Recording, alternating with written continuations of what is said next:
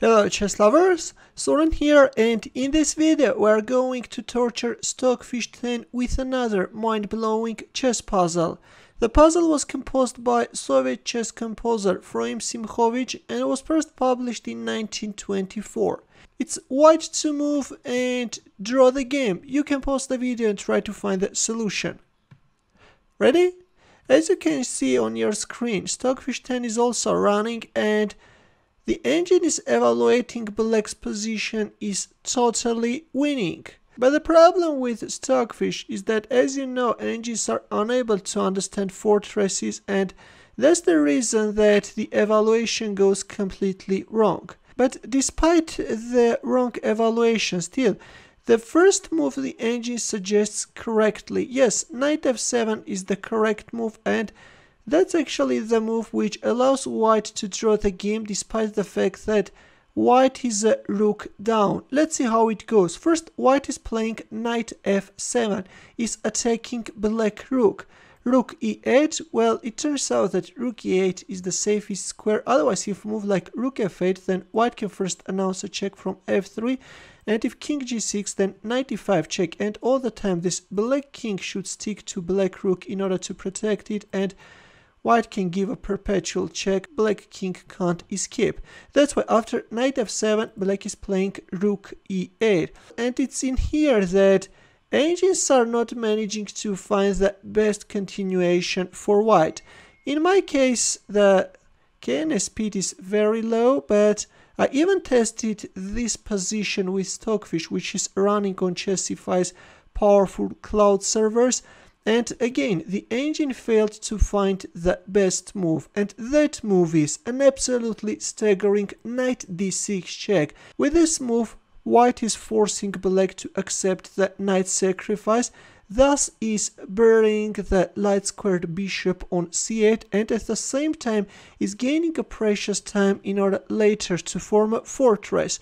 And after e takes d6, white is starting to give a check with his rook. So black king is moving back towards the d8 square, which is the only square which allows black to avoid the perpetual check. And after king d8, believe it or not, but white goes for the exchange of rooks. King takes e8.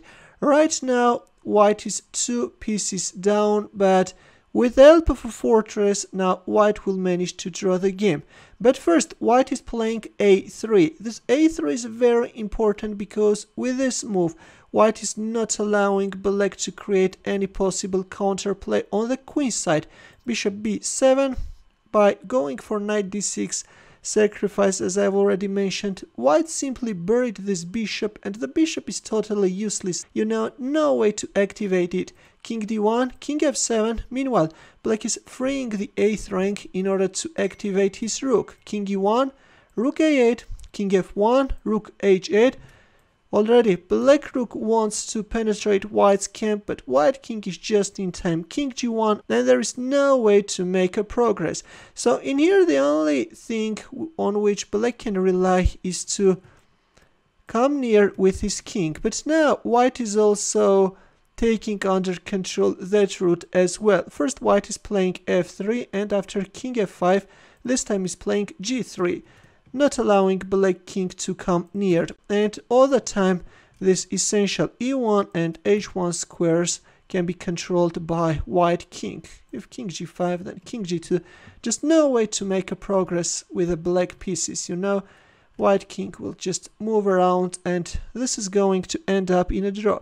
Of course, you can go for a rook sacrifice, but this won't give you anything.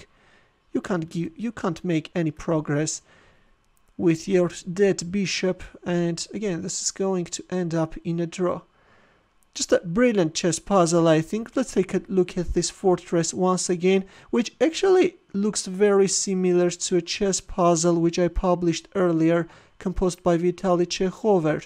I will pin the link of that puzzle in the comment section and if you enjoyed this puzzle share also with your friends let them know about this beauty well, if this endgame study was too difficult for you, here is a simple one.